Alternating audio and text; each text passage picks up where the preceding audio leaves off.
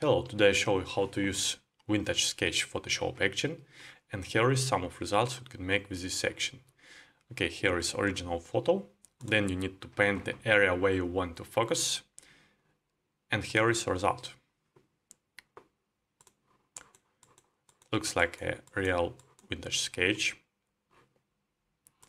Another example, original photo, area layer and the result. And also few examples.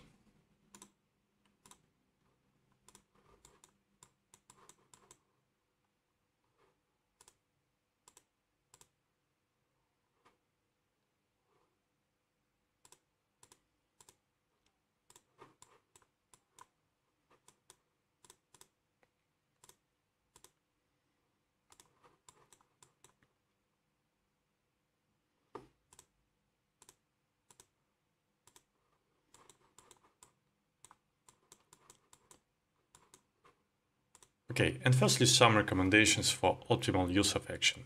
Use good quality pictures. I recommend using a photo with a resolution between 3 and 5000 pixels on one axis.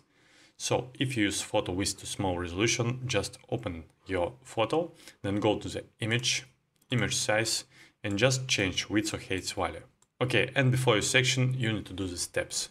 First step, make sure that using the English version of Photoshop and if you switch with another language, watch the video how to change language, the link under this video. And second step, go to the image mode and just check the RGB color and 8 bits channel. And last step, just for CS5 and high versions, click on menu icon at the right, select panel options, and just check the add copy to copied layers and groups. Okay, that's all. Now, how to use action.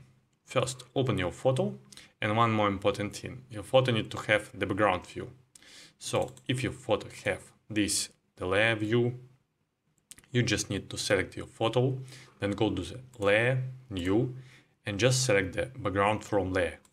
Now it's okay. The next step, open brushes file, for that go to the edit, presets, preset manager. In preset tab, select brushes, click load, then go to your download folder and just open the vintage sketch brushes file. Okay, click done. The next step, open patterns file, then go to the edit, presets, preset manager. In preset type, select patterns, click load, then go to the download folder again and just open vintage sketch patterns file. Okay, click done. The next step, open the action file, then go to the window, actions, click on menu icon at the right, select load actions, go to the download folder last time and just load the vintage sketch Photoshop action file. Okay, that's all. The next step, create a new layer and name it area. And please don't use the caps lock. Now you need to paint on this layer the area that you need to focus. For that you can use a brush tool, you can use quick selection tool or magic wand tool, or you can use some of lasso tools. Uh, for this image, I'm gonna use a brush tool. Just select the brush tool. You can use any colors and just paint the area where you want to focus. And please make sure that you paint on the area layer, not on the background layer, only on area layer.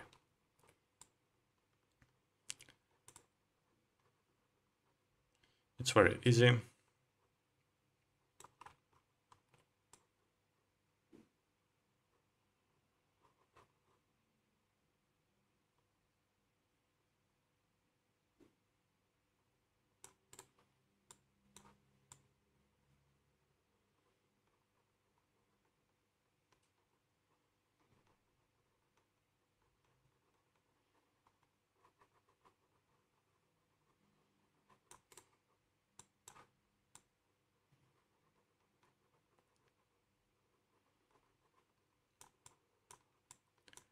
Okay, the area is done. Now go to the Actions panel. If you close it, the Actions panel, go to the Window, Actions, find Vintage Sketch Photoshop Action in the Actions list, open the folder with section, open the action, and just select the action. But before you will click play, please make sure that the opacity and flow values of brush tool is uh, 100% and the normal mode is selected also. Okay, click play. Wait a few minutes that Photoshop make all actions and speed of action work depends on the power of your computer. I'm going to scroll this step. Okay, and now when action finished work, you can edit the final composition. And now I show you how to make this. But firstly, I want to show you how to close all folders inside the main folder, because now you can see that all folders inside the main folders is opened. So to close all these folders, just click and hold Ctrl plus Alt case combination and open and close the first folder. And now you can see that all folders inside the main folders is closed. So let's start to edit the final composition. The final composition contains five folders. It's back elements, middle elements, top elements, uh, 10 color effects and color and contour settings of all image. So let's start from back elements. This folder contains the white back color. I recommend to use only white back color. Also this folder contains the uh, back pencil lines, uh, back paint drops and back paint paths. Uh, you can find uh, many layers inside these folders. Also you can use the layer masks or you can use the mask of the folders to erase some of space of these effects.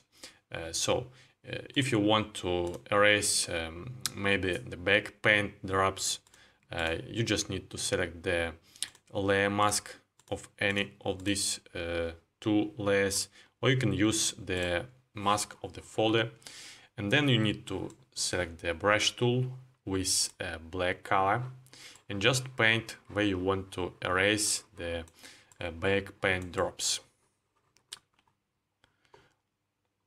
Also to make visible this effect, just change color to white and paint again.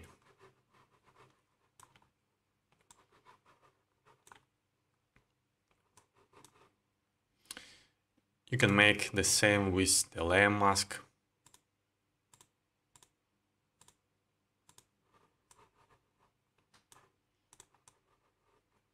Black color to erase and the white color to make visible. It's very easy. Okay, also this uh, back elements folder contains the back shadow tone layer. You can uh, make this uh, layer visible or you can hide this layer. Also you can change the opacity of this back shadow. Okay, the next uh, folder it's middle elements. Uh, this folder contains the middle pencil lines.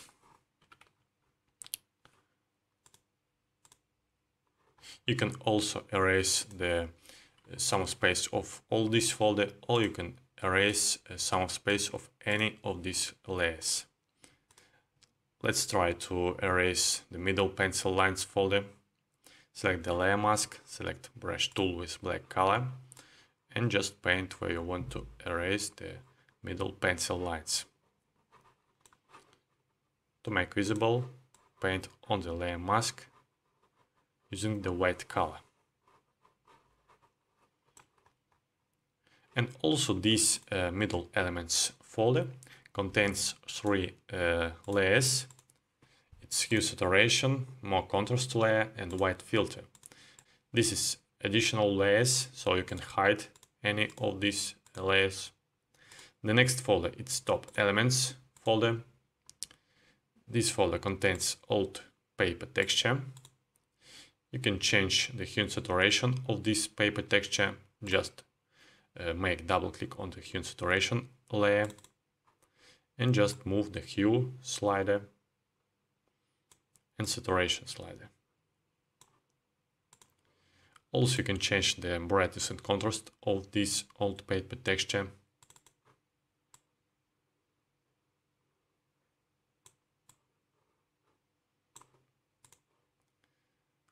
Also, this folder contains the white paint pot layer and the folders with uh, top pen drops, top pencil lines and cracks.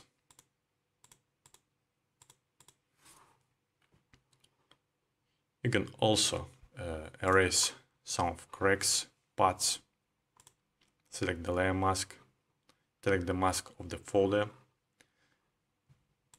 and just paint on this mask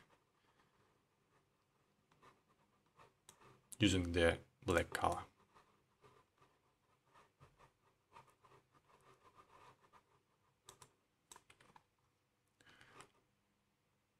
Also, this folder contains a very important folder. It's add more details layers. First layer, it's more original details layer. You can change the brightness and contrast of this layer. And very important uh, layer is show original paths layer. So you can easily show your original paths. Uh, for that, select the layer mask, select the brush tool, but with white color. And just paint where you want to add more details. So you can add more details on the face area and hands area.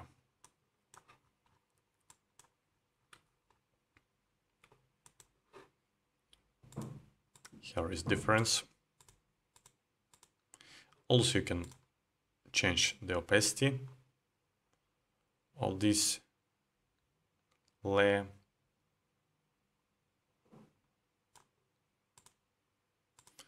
Okay, and the next uh, folder contains 10 color effects.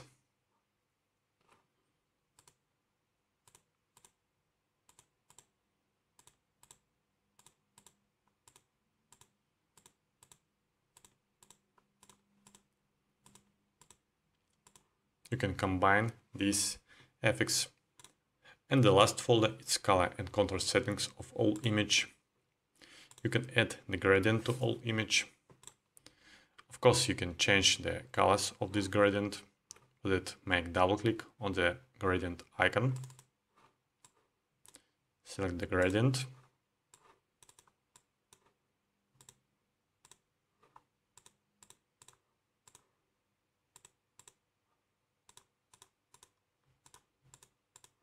you can use any colors.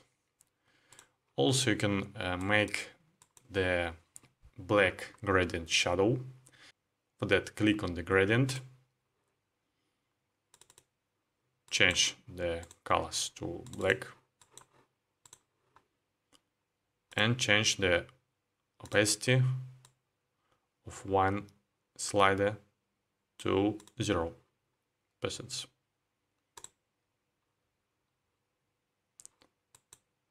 and then you just need to change the blending mode of this uh, layer to normal.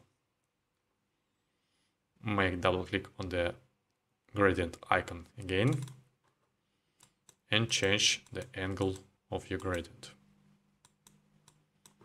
Also you can move this gradient and scale.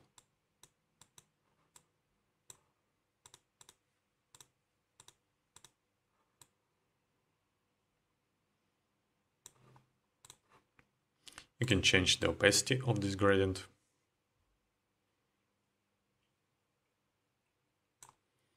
Okay, also this uh, folder contains shadow frame, layer. You can duplicate this uh, layer if you want to add more shadows on the frame area. For that, select this shadow frame layer and go to the layer, duplicate layer you can duplicate again. So it's very easy. Also, this folder contains hue and saturation of all image adjustment.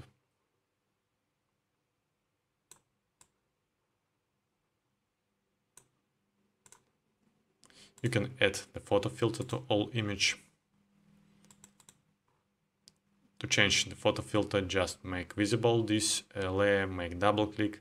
on the layer icon and just select the photo filter from list. You can change the density of this photo filter.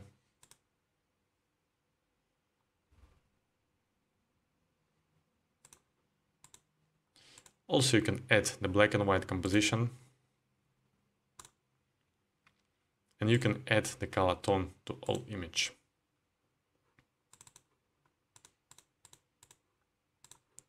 Of course, you can change the opacity of this layer. And the last uh, adjustment in this folder, you can change the brightness and contrast of all image.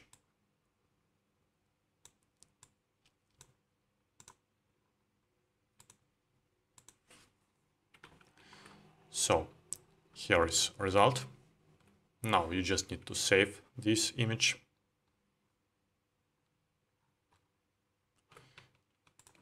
and here is difference.